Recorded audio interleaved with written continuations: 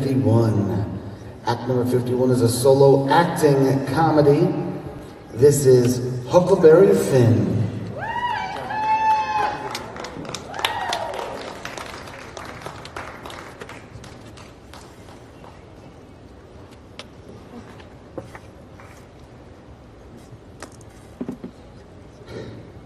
One day, Mrs. Watson told me to pray every day, and whatever I asked for, I would get it.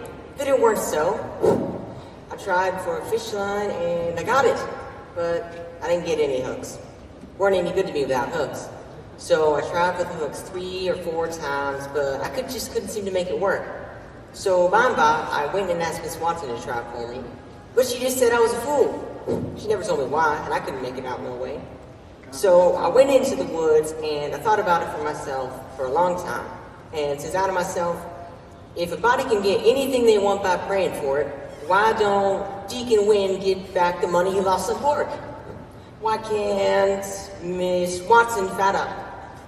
And why, why can't why can't the widow get back her silver snuff box that was stolen? No, says I, there ain't nothing in it.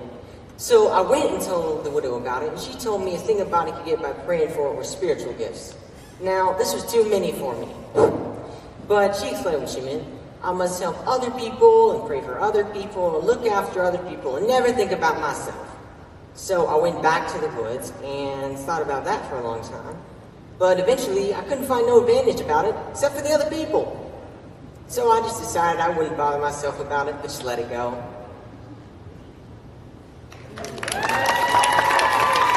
Well, that was Huckleberry Finn, act number 51.